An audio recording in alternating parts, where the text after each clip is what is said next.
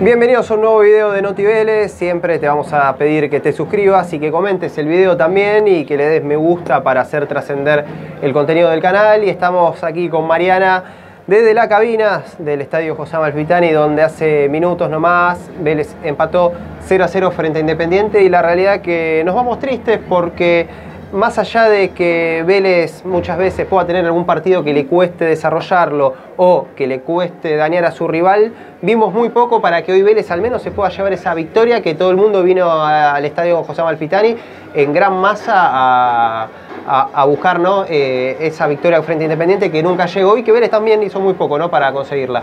Sí, Mariano, me parece que el sabor amargo eh, de los hinchas, del, del, público que vino al José Amalfitani, tiene que ver con dos cosas fundamentales. Primero, el hecho de no hacerse fuertes de locales y sumar otros tres puntos acá como pasó en la primera fecha con gimnasia. Y lo segundo es la identidad de juego.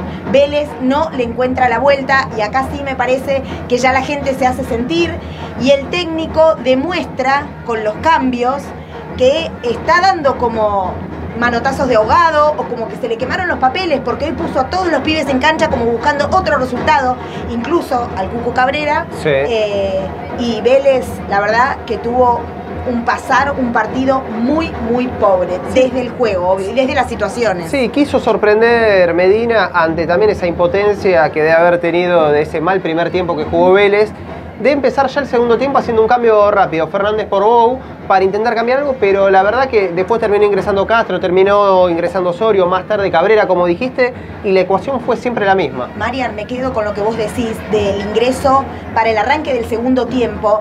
Yo creo que lo que vimos en estos últimos partidos deja las claras que tanto Lucas Prato como Walter Bow evidentemente se les dificulta jugar juntos, no pueden jugar juntos. Ahora, no sé si el hombre a sacar, salvo que haya habido alguna lesión, eh, tenía que ser Walter Bow. Me parece que ahí ya nos llamó la atención, por ahí no sé si eh, más dinamismo con Walter Bow, ¿no? Y sacando a Lucas Prato, pero me parece eso, como vos decías, después hizo ingresar juntos a Castro, a Osorio.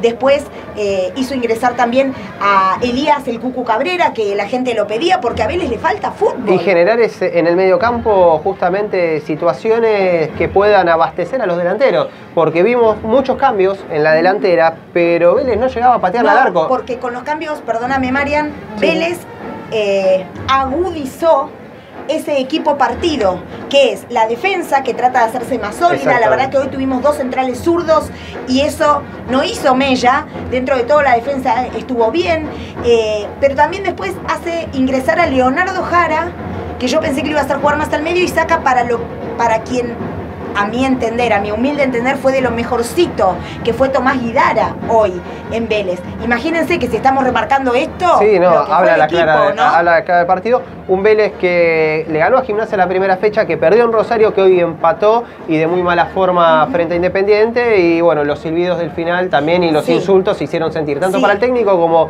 también eh, para la dirigencia. Exacto. Eh, buena concurrencia de gente nuevamente, el Estadio Malfitani, el la verdad que el marco espectacular es bárbaro, pero bueno, sí, hubo silbidos, tanto para el técnico y también se hizo escuchar, ¿no? La gente de Vélez eh, en contra de la dirigencia. Y vos que estás del otro lado, dejanos tu comentario de cómo viviste el partido, y qué te pareció nuestro análisis, que entre todos, ¿no? Hacemos esta comunidad de Noti Y que también nos sigan en las redes, en Twitter y en Instagram. Exactamente.